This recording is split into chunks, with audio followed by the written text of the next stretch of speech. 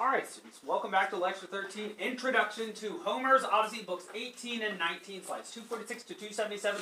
Today, let's remember where we were. Odysseus, in the form of Arnias the beggar, had just found another beggar at the threshold to his own home, and the suitors had set up sort of a gleeful, terrible, ignoble combat between these two beggars, uh, during which Odysseus had a chance to show off his big thighs and shoulders, which caused uh, great fear and shivering in uh, poor Iros, also called Arnios. Iros, of course, because uh, he is named for Iris, the messenger goddess, because he sends messages between the suitors. But that is the uh, the male form of the name rather than the female form that Iris has. In any case, Odysseus had a chance to fight against him, slugged him in the jaw, where the neck meets the jawbone, seems to have broken his jaw. Blood is, uh, he's drooling blood, Iros is, and he gets dragged outside, and that's where we pick up today.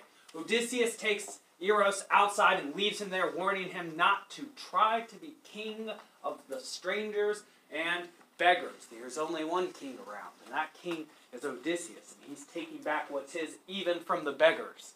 The suitors then toast him, and I always think that this is a fantastic bit because what is it that they say in his toast? They wish him well, they wish him to receive something, but what is it that they wish him to have?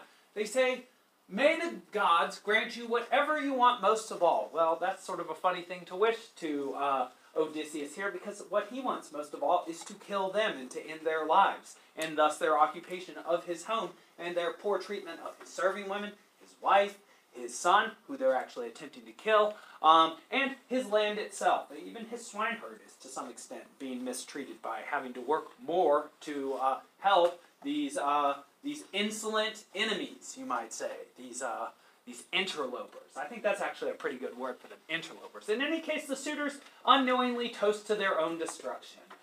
May you have whatever you wish. And Odysseus thinks, I certainly will be having that very soon at your expense. So, Amphinomus, he then wishes Odysseus help. And Amphinomus is a very interesting character in, uh, in this part of the story for se- several reasons. Um, before I get into exactly what happens here, there are maybe two or three things I should say about Amphinomus. Amphinomus is the one uh, seemingly kind suitor. He seems to be sort of genteel. He seems to know something of the Xenia, though obviously as a suitor, he is not honoring the Xenia quite correctly. There is a story outside of Homer that Penelope, uh, there are two stories about Penelope that suggest that she was not perfectly chaste, that she did cheat uh, once or twice. There are two separate stories. And in one of those stories, it is with Eurymachus that she cheats, but in another, it is Amphinomus. Perhaps precisely because he is so kind. Something interesting, though, about him is that you notice this language here. Odysseus gives him a speech and talks about the helplessness of man and says, There is nothing more helpless in all the world than man, in lines uh, 125 to 150. And uh, from the descriptions we've heard of how, uh, or, or Odysseus' lying descriptions of where he's been from Crete and uh, subject to storms, and the stories that we heard in the Iliad of Heracles being subject to storms, and the times we've seen people subject to storms. Uh, remember that um, uh, it was precisely in a storm that Aias the Lesser died. It was in a storm that Menelaus was sent off to Egypt, which kept him from being able to help his father Agamemnon. And then even uh, remember that Eumaeus, as a young person, not involving a storm here, but was stolen away by a, uh, a servant woman. People, people are not in full control of their lives, and perhaps even you uh, interpret Helen in that way. Perhaps you you uh, do not blame her for the Trojan War because perhaps it was Aphrodite that made her love. Perhaps it was uh, um, Paris that forced her uh, to leave with him. Not usually how the story goes, but perhaps. In any case, it does seem like man is not all powerful in any way. That we are all subject to many different things. The environment we find ourselves in, the people around us, the things that happen, mostly, we do not make happen. And uh, this will be a good example of that because Amphinomus hears this. And um, Odysseus counsels him. You probably shouldn't stay around here. And yet, the language, as I said, is very interesting. Athena binds him. If you are an Old Testament scholar, you've ever read the old story of uh, Moses, let my people go to Pharaoh. There's very similar language, though, of course, in Hebrew, not in ancient Greek, where it says that uh, God twice hardens the heart of Pharaoh. And how to interpret that, I think, is a very interesting question. Is it the fact that Athena literally makes it so that this man cannot choose, uh, cannot make a better choice?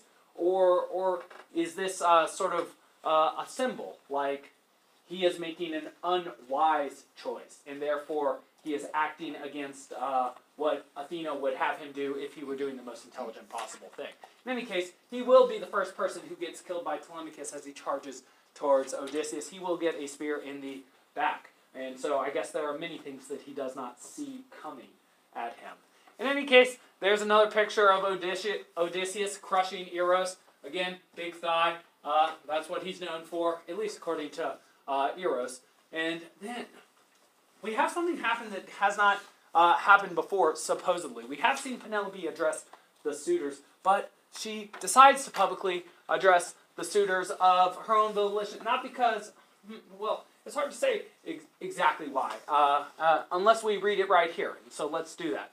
But now the goddess, gray eyed Athena, put in the mind of da- the daughter of Icarius, circumspect Penelope, to show herself to the suitors, so that she might all the more open their hearts, and so that she might seem all the more precious in the eyes of her husband and son, even than she had been before this. So Athena puts an idea in her head that she wants to go down looking very elegant in front of the suitors so that they uh, uh, desire her even more and will give her more gifts. And it will just so happen to be the fact that Telemachus will be down there and her husband, though she doesn't know it, which perhaps will motivate her husband to fight even harder because he's like, whoa, my wife is rather fetching, rather beautiful. I could kill 108 suitors for her.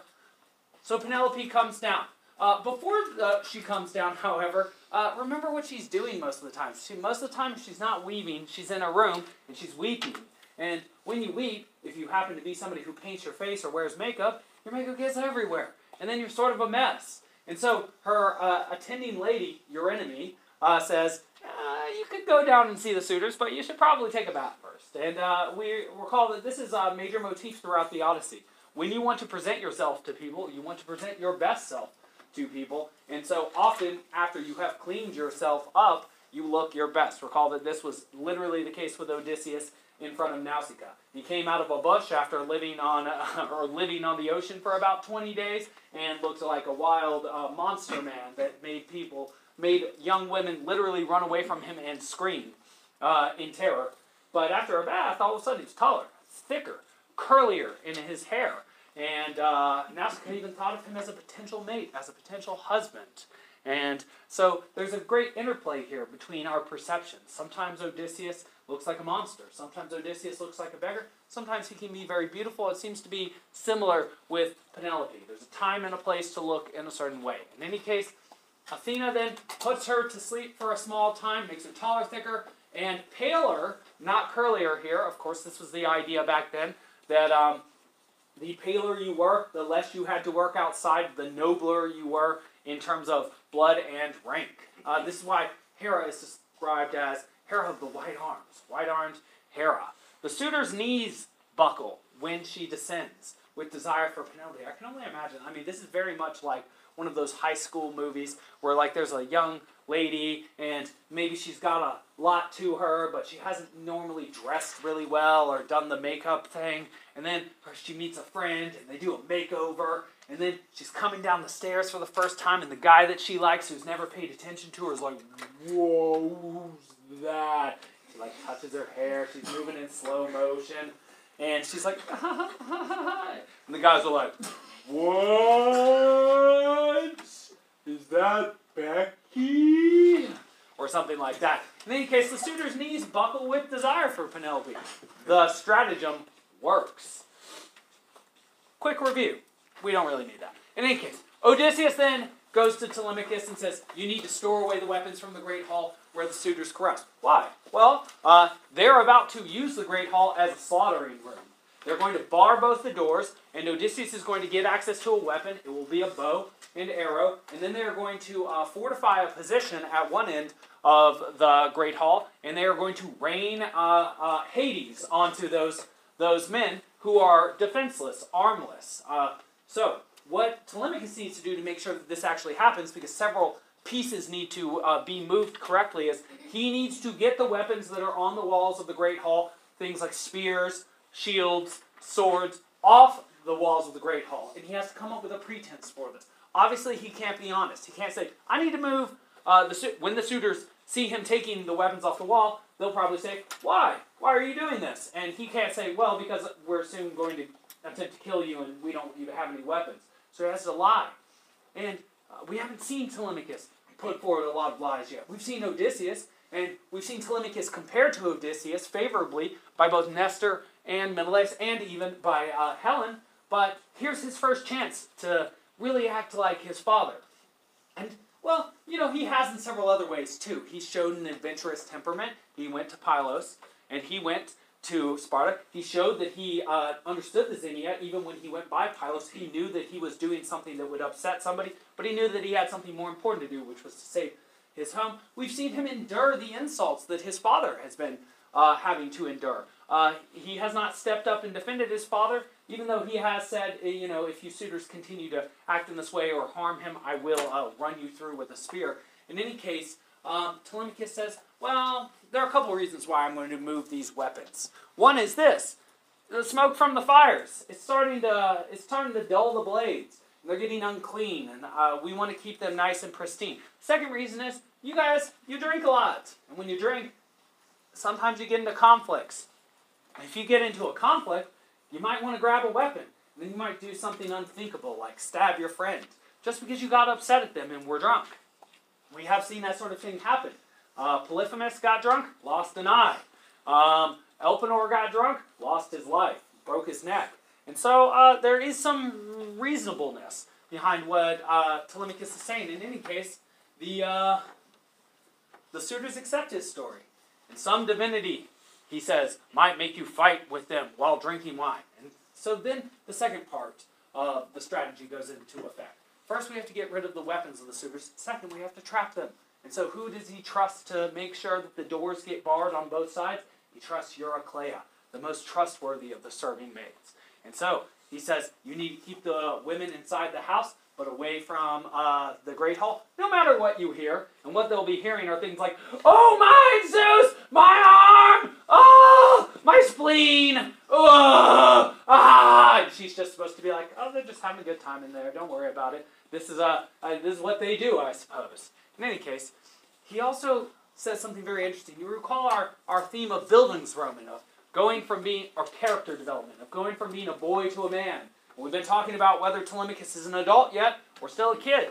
Well, when he commands Eurycleia to keep the serving women out of the great hall and in the house and to bar the doors, he says, I was a child before, which suggests that he is now a man or a reptile man. Probably a man, though, because there's no evidence in the text that he's a reptile. All right, Eurycleia obeys, bars the doors, and then Odysseus and Telemachus hide the weapons. And while they're doing this kind of an interesting thing, uh, some light appears out of nowhere. Athena illuminates their way. And Telemachus actually brings this up to Odysseus. He's like, What's going on here? Is this some trick of the gods? And Odysseus essentially says, Shh. Uh, he hushes him and says, Do not ask questions, for this is the very way of the gods. He says, Don't worry, you know, if something's going well for us right now. Don't ask questions, just accept it and keep moving. Because obviously, uh, Odysseus knows that if they're going to defeat the suitors, they are going to need the help of Athena, which she has actually promised to him. So, it's time for Telemachus to go to bed. But it is not yet time for Odysseus to go to bed, because remember, he set up a date tonight.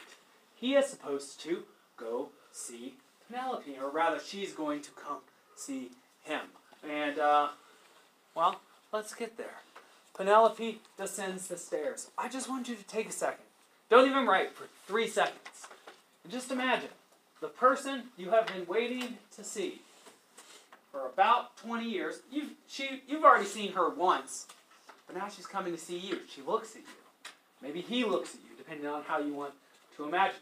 And you're going to sit right in front of this person. Can you imagine the tension that you would feel? And not only that, you can't be honest with this person. You have to trick this person. So you have to, in front of this person, tell some uh, very tricky tales. And this person is supposedly someone who would know you fairly well, physically, mentally, and somebody uh, who, whose intelligence you respect. This is not just Eumaeus that he's lying to. This is not just some uh, Phaeacians he's telling the story to. This is his wife, who is known for being both beautiful but also circumspect, which means highly intelligent. Recall that Antinous said, No woman in all of Argos has the mind that Penelope has. And I mean, that includes Helen, who we know to be a very, very sharp uh, blade.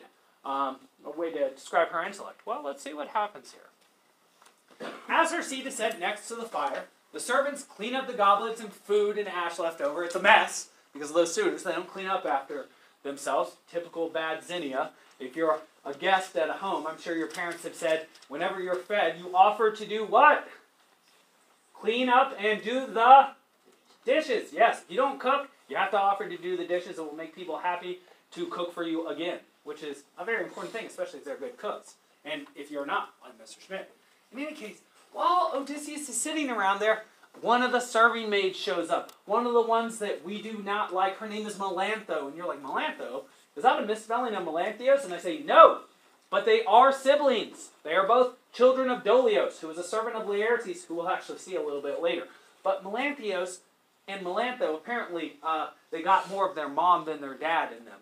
And uh, Melantho, she scolds Odysseus. She, Odysseus. She's like, Beggar, what are you doing still around here? Trying to get some scraps? Drink? Are you drunk right now? Why are you here? When Odysseus, very upset with her, do you mean to stay here all night? He says, why do you why do you judge me so so poorly of me? Is it is it my poor fortune, the fact that I'm a beggar? Is it because I'm so ugly? My poor looks? Why are you so unkind to me? Obviously, your lord, or rather your lady in this case, has ordered me to be here. And you are, in a way, going against her will.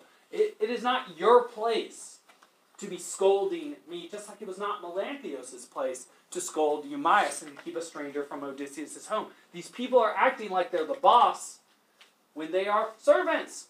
And in this time, actually, slaves. They are not acting right. There will be a punishment for that sort of thing. In any case, he warns her. He says, Perhaps you feel very arrogant now because you're young and you're beautiful. Uh, but I too was once young and promising and beautiful. Seems sort of unlikely looking at him in those moments. But he says that and he says, Perhaps someday your mistress and fortune will turn on you. Well, Penelope actually happens to hear this exchange. And she's fairly astonished and she admonishes Melantho. She says she knows well why the beggar is still there. And uh, just another uh, um, piece of the puzzle to explain why Melantho might be acting like this is uh, Melantho happens to be the lover of Eurymachus. And so perhaps she thinks she has stepped above her station a bit. Perhaps she thinks she'll be married to this lordly man at some point. I'll give you a hint. Neither of them will be alive the day after the next. Um, uh, for slightly different reasons too, uh, and they'll have very different deaths. Um, but yes, uh, again, this hubris, this thinking that they have something that they don't, is something that they share. Perhaps that's the root of their attraction. In any case, Penelope then orders Eurynome to bring up a chair to Odysseus, and Odysseus and Penelope, like this picture displays, sit across from each other, and the interview begins. I always like this, this old woman in the background. Who do you think that is? A lot of people say Eurycleia. I don't think so. Probably not Eurycleia. Probably somebody who's on this slide. Anybody get it?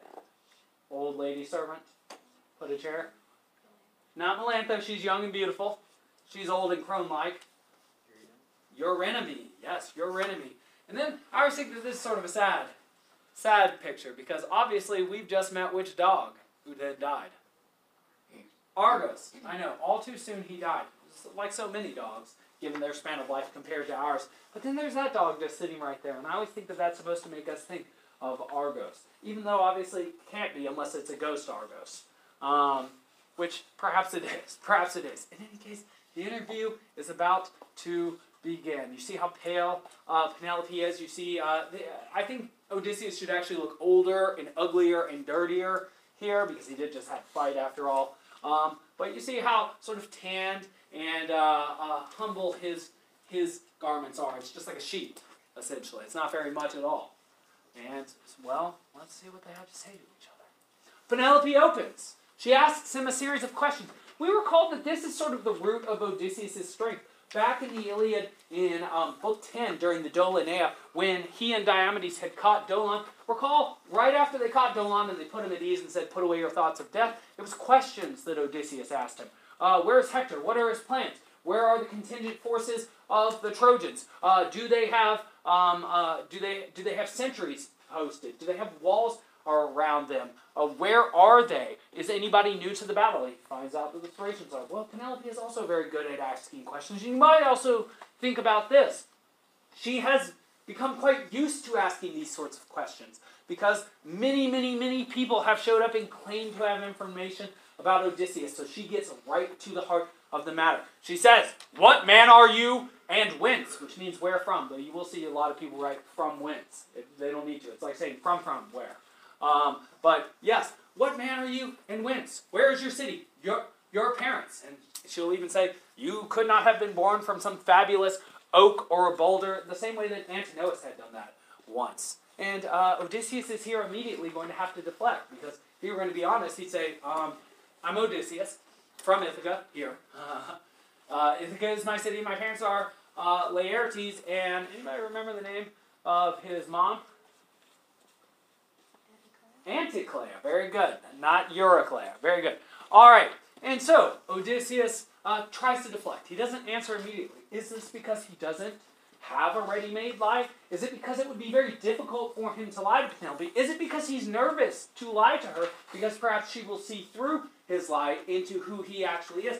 All of these thoughts could potentially be occurring to him in this moment. He says, Ask me not who I am and where I am from, because it will cause me too much suffering. And so I have here a couple questions. Is he playing with her? Because it, he obviously must tell her, um, but uh, I think it's just a very complicated situation.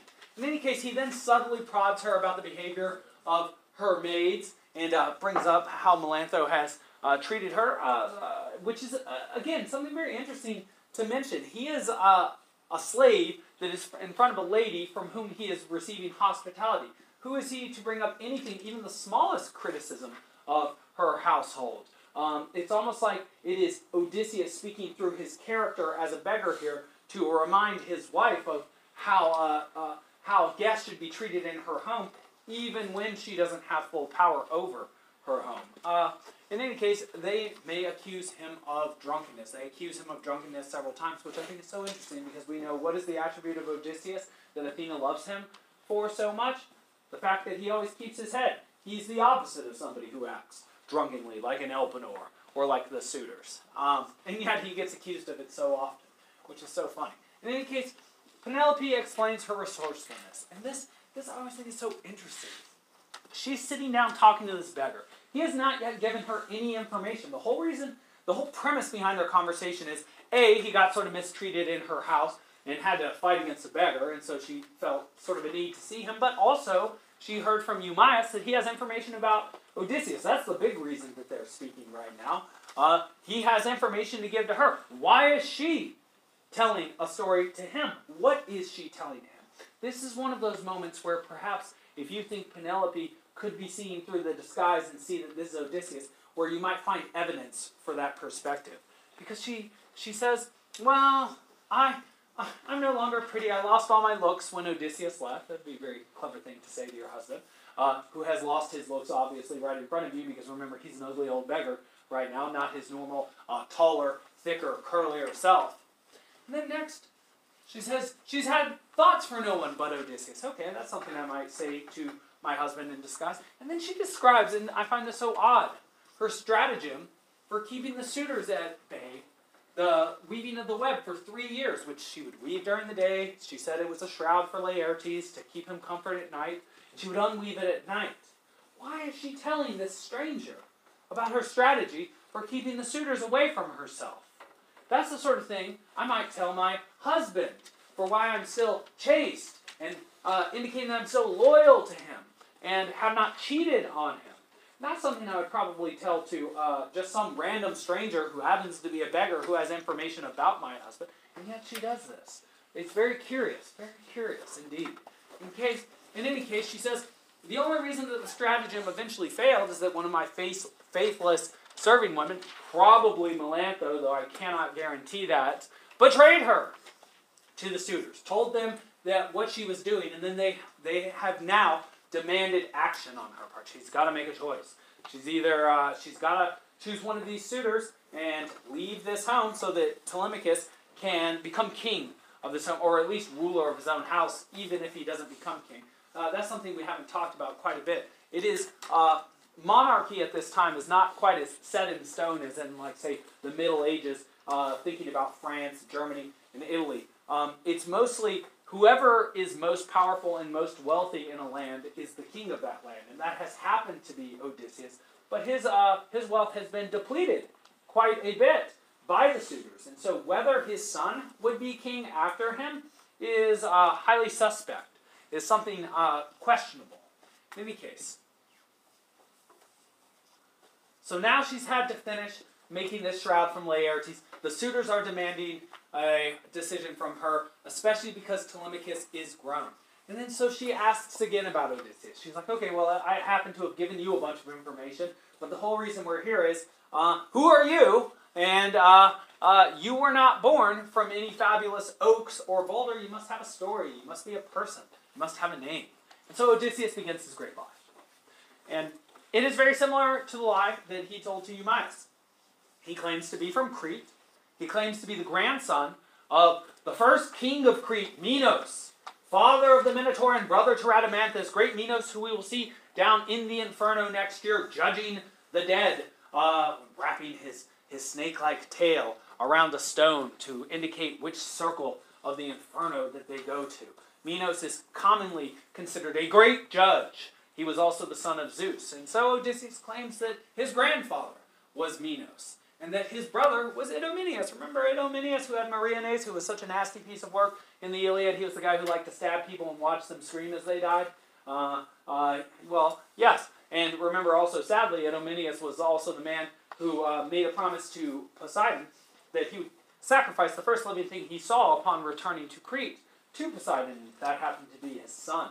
And he kept that promise. And then Crete had a terrible plague because of that hurt family members, murder family members, often plague will come to you. Do something especially opprobrious to the gods, plague comes to you. Recall plague coming at the beginning of the Iliad. We'll actually see a very famous plague in um, the first play we read uh, in the next few weeks, actually, um, in Oedipus Tyrannus. The, the uh, conceit of the play, uh, the precipitating event, rather, will be that there is a plague, and somebody needs to do something about it. And it will be Oedipus. And, uh, well, yep. In any case, he says, Idomeneus was my brother, Aethon. Aethon is my name. Interesting thing about what Aethon means, it means blazing or shining. Almost like it's obvious who Odysseus actually is, regardless of who he says he is. And now he starts to give the information. And recall, this is all lie. And he's telling it to Penelope. And she's heard many lies before. And she ostensibly should know something about her husband, but it's been 20 years and she doesn't think he's alive. So does she suspect that this man could be her husband or not? Again, we're confused. We're in it. We're staying perplexed. We're in a, we are in a moment of perplexion. Perplexity, excuse me. Once he says, uh, I was entertained. I entertained Odysseus uh, in Crete. He was on the way to Ilion, to Troy. And Idomeneus had already left, so it was my responsibility to extend Xenia to this traveler. He knew how to say many false things that were like true things. I love that. It's like he's it's like he's tantalizing her. It's like he's tempting her to see him for what he really is. He knew how to say many false things that were like true sayings. That's precisely what he's doing in this very moment. And so uh, Penelope then breaks down into tears. And I always wonder whether that is the perfect response. She breaks into tears because that's such an honest thing to say about Odysseus. This man seems to have actually seen Odysseus. She remembers, yes, he could tell stories. Or, if you think that she thinks that this is Odysseus, that is a very clever thing for her to do, too. To, as a teacher, I can tell you that one of the most effective strategies for getting me to give somebody extra time is to show up in front of me and to beg in tears that I give extra time. It's happened many times in my career, and sometimes I actually grant it. And in fact, I've had uh, generally ladies uh, tell me after they were my students, it's the best strategy possible. Uh, teachers, they always give into it. And I think that's so funny. You actually use that as a strategy? That is so duplicitous. And that is very, very effective. Oh, Mr. Schmid, I was going to the work, but then the internet and life is bad and terrible. I'm like, okay, just calm down. Okay, you can have five minutes, or you can have a day or something. I wonder if that's what Penelope is doing here. When she breaks down into tears, if Odysseus is her husband and he has some affection for her, what is he going to be tempted to do? He's going to be tempted to give up his disguise and comfort her. And yet, again, he has to show this endurance. He's watching his wife, who he loves, cry right in front of him, just like when he saw Argos, his dog, right in front of him, and he wanted to comfort him before he died. And can he? No, because he's got a strategy, and he's got to stick to the tactics he put in place. Is she testing him? He wants to comfort her, but he must deny himself. Yet another test. And so then Penelope continues to test the truth of Odysseus' story. She recovers from her tears. She asks several other good questions. What was he wearing? Excellent question. Looking for details like that. If he's just making up this story, how could he possibly know what Odysseus was wearing, especially if she gave him something special to wear? What sort of man was he? Well, he started answered that, answering that to some extent, but then also who followed him? Who was with him? Do you know their names as well? This is a fantastic way to expose somebody's lie. Ask for details. Don't tell them they're a liar. Just ask for additional details. Oh, you saw this person. What were they wearing that night? Who was with them? These are excellent uh, orienting questions. In any case, let's see if Odysseus has an answer. He, he probably will, because he is Odysseus, so he should know what he was wearing. But it's been quite a bit of time, so maybe he's forgotten. He responds brilliantly, as you would expect. It's been a long time since I've seen Odysseus, he says. And, you know, it's been about 20 years since before Odysseus went to Ilion. But, but I seem to recall he had a purple mantle on. That means a purple cloak. Very regal. Very beautiful color in ancient Greek. Um, and, in fact, you can watch videos on how they used to produce the color purple. And he had this golden pin. Remember, the pin is what holds the two parts of a cloak together. It's like a clasp. And it's a very interesting pin. It's very remarkable. You would not forget it if you saw it. It has a hound holding down a fawn. That's a baby deer. Uh, and so it's, it's, that is itself a symbol for what Odysseus is, right? The hunter catching the prey. Um, uh, the yeah, well, and yeah, the hunter catching the prey, I think, is exactly right. And he says, I love this. I love this too. He, he says, many of the women were, it says looting here, it should say looking at his tunic in admiration. He adds in the, the moment that he was so well dressed that the ladies like how he was dressed. That the ladies like how Odysseus looks. Ladies like Odysseus, is what he's saying. And Penelope perhaps caused a little bit of jealousy or envy in her heart. he says, But that's only what I saw him in. He could have changed clothes from the time he left Ithaca to that time, but that's what I saw him in. And, well, you know, you don't see a lot of pins of hounds holding fawns down uh, these days or those. And so uh, this starts to add credence to his story. He, he then says he had a herald with him, Eurybates. Oh, Eurybates. Throwback all the way to the first book of the Iliad. Remember, Talthybius and Eurybates were sent to take um, Briseis from Achilles. And remember, they were shivering and they thought he was going to kill them. And then he was nice to them. He was like, I'm not angry at you. I'm angry at Agamemnon. Go ahead and take this lady. Um, and then all the events of the Iliad transpire. In any case, he's answered her questions very well. This is what he was wearing. This is a person that he was with. I know what I'm talking about. What happens? Penelope cries again. Penelope cries and welcomes the stranger the entire time. Odysseus is probably thinking, gosh, how am I putting her through so much? Uh, one interesting note is that Odysseus will run into his father soon, and his father will be so pathetic that he can't even bear to maintain the lie. He'll start lying to him, and then his dad will start to cry, and that's just too much for him. So he can he can watch his wife cry a couple times, but his dad crying, it's just too pathetic. And what is it? Uh, I forget which movie it's. I think it's a Disney movie. It's a funny movie, but uh, uh, the quote is, "Is there anything sadder than watching an old man cry?" At least for Odysseus, the answer is no. Uh, well, Penelope cries and welcomes the stranger, and even though he claims to have information on Odysseus, she says, "Well, there's no way that Odysseus will return." Uh, Odysseus then claims, "Well, he was in Thesprotia, which is fairly close to Ithaca, close to the mainland Argos, and he is here now because Phaedon, their king, told me, or him in this case." And still Penelope will not believe.